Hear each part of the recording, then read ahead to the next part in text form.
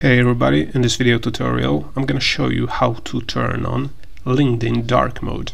So if you want to enable LinkedIn dark mode, all you have to do is open up linkedin.com, sign in into your account, then in the top row click on the down arrow here and select settings and privacy. Then from this list select visibility. Then under the display section select dark mode and as you can see currently it's in light mode so if you want to turn on dark mode just select this one and if we go back to the feed of the of LinkedIn, now as you can see everything is turned into dark mode. So on your profile, on your feed, you're gonna see LinkedIn posts and information in a dark background. So this is how to turn on LinkedIn dark mode.